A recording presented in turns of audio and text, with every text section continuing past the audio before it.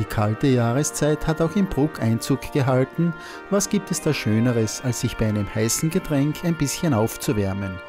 Wenn dies auch noch für einen guten Zweck geschieht, ist es doppelt so schön. Um welches Wunder handelt es sich? Das ist das Ö3 Weihnachtswunder, dass wir heuer mit Ö3 die einzige Zweigstelle in der Steiermark sind.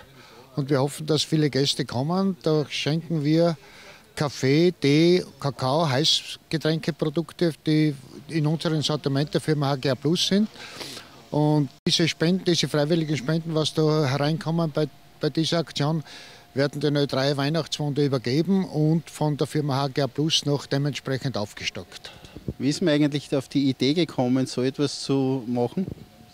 Auf die Idee bin ich voriges Jahr gekommen, leider zu spät, weil da habe ich immer, ich bin ein, ein fleißiger Ö3-Hörer und da habe ich, hab ich das Ö3 Weihnachtswunder im Radio ständig verfolgt.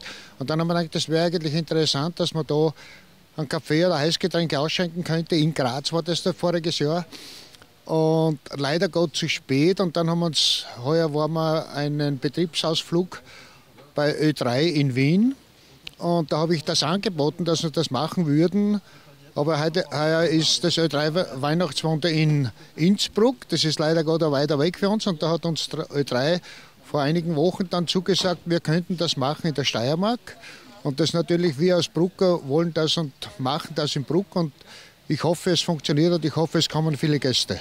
Alle Jahre machen wir solche Aktionen, dass wir eben Bedürftigen oder normal machen wir das Leuten in der Region zugutekommen. Wir haben da schon Aktionen gestartet, dass, dass wir halt einen Ruhestuhl oder solche Sachen gemacht haben oder Schreibmaschine gekauft haben für die Blindenschreibmaschine. Und diese Aktionen machen wir eigentlich ständig.